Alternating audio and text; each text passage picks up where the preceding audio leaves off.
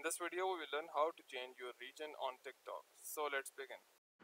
So the process is same for Android as well as iOS devices. So you don't need to worry if you're on Android. Uh, first, make sure that you are connected with the internet. And now if I go and open up my TikTok app, here we go.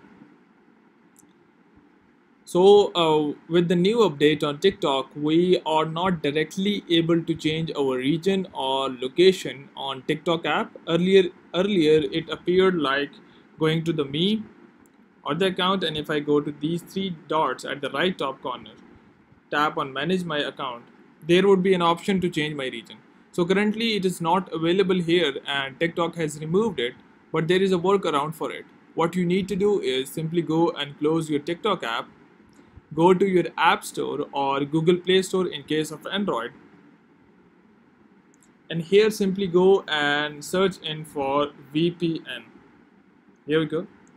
And now go and simply download and install any of the VPN that you like. It doesn't matter which VPN it is. So once you have installed the VPN, uh, so what you need to do is simply go. I would prefer this one VPN because it lets you set your location as well so it is a Wi-Fi and security and privacy VPN so here I go and if I go and open it tap on fastest location. And here I would go and select any of the free for example if I want to change my region or location to UK I would select this one. Select any of this one. And it would take a bit of a time to uh, connect to it. And here you can see disconnected so it means it's connected now and if I go to my TikTok app, now TikTok will be tricked into believing that it is a UK account it will be mostly showing the content from UK from UK by doing so.